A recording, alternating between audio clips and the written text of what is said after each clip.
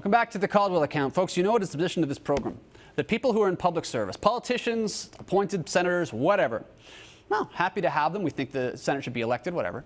But we think that if you were in public service, it ought to be just that. And in practical terms, that means you shouldn't be getting a better deal than the rest of us. You shouldn't be getting a better pension situation. You shouldn't be getting all kinds of perks. You shouldn't be swooshing past us in limos while the rest of us have to pay for our own gas and drive ourselves to work. It shouldn't work that way because we're all in this country together. You're not our overlords. You are ostensibly public servants. You're one of us. You're among us, okay?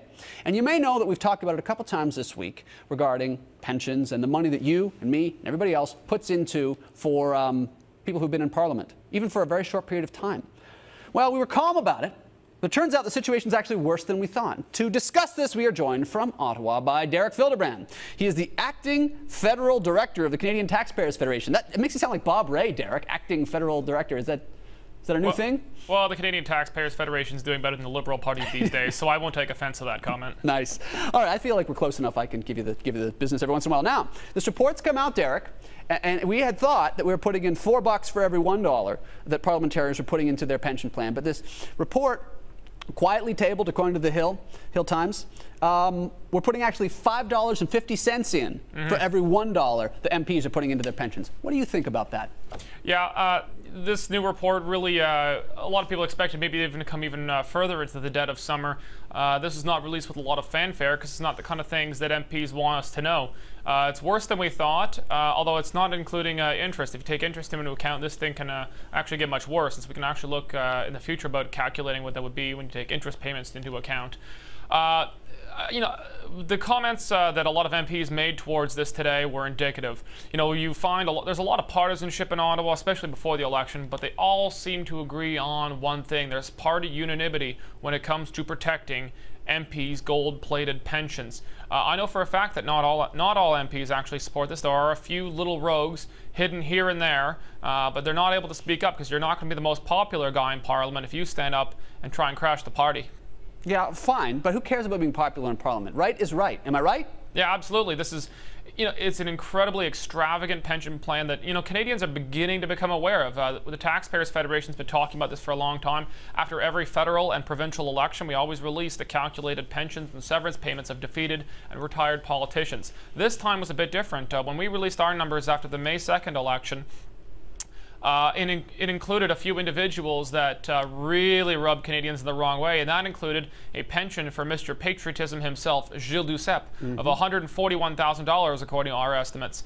And, uh, you know, everyone knows these are crazy plans, but it really really put a, a, fine point on it that we are giving people who want to destroy this country uh, more than $100,000 uh, for pensions when the vast majority of Canadians have no uh, real pension plan for themselves other than the CPP and uh, their own private savings. Exactly so. And and we had Papa Bear Mark Bonokoski, a national editorial writer for Sun Media, on earlier this week, talking about that number, that $141,000 that you, Derek, me, everybody watching, that we are putting into Gilles Duceppe's bank account every single year, and there seemed to be very little doubt that he would cash every single check after yeah. a career dedicated to breaking up this country. And you know what? Even if that weren't the focus of his career, like you just said, the rest of us have to invest for our retirement, and we, we don't get anything like this. Why mm-hmm. on earth should people who are supposed to be public servants, why should they get deals that are so much better than what you or I or anybody watching us gets? Yeah, well, there's, there's two parts of this. Um, a lot of what, you know, what MPs say to this is, uh, first of all, we're entitled to it. We work hard, we make sacrifices. Yeah, you know what? You do. But so does everyone else with a job. We all work hard. We all make sacrifices. We all fight through rush hour and have to push and shove in the line to get ahead. You know, uh, MPs are not the only people in this country who work hard. They should be decently compensated, but not in a way that they have a pension plan that nobody else has. But in, in their defense, what they like to say is that, well, we shouldn't take away what we have. We should give everybody what we have. We need to bring everybody up. You know, if we did that, Greece would look like the most right-wing fiscal country conservative in the world, uh, fiscally conservative uh, country in the world. It, it, it would absolutely bankrupt us. It's impossible to do. It's a red herring that the politicians put out there that's saying we shouldn't take away what we have. We need, need to improve everybody's pensions the right thing to do is to do what uh, the Minister of Finance, Jim Flaherty, did uh, before this uh, before budget. I think it was in the last budget. Was ideas of extending the tax-free savings account, uh, doubling it. They first they brought it in. Now, now they're talking about doubling it in the future. That's going to help people save for their retirement. They're talking about having a uh, a, a uh, government-run um, registered uh, a pooled pension plan, which is a private plan, but it can be administered by the government so that small businesses can get in without having the overhead costs. That's a good. Those are good ideas for individuals to save for their own retirement. But when they say we should just need to give everybody these big pension plans, it's a red herring because they know, even a new Democrat knows, it's impossible.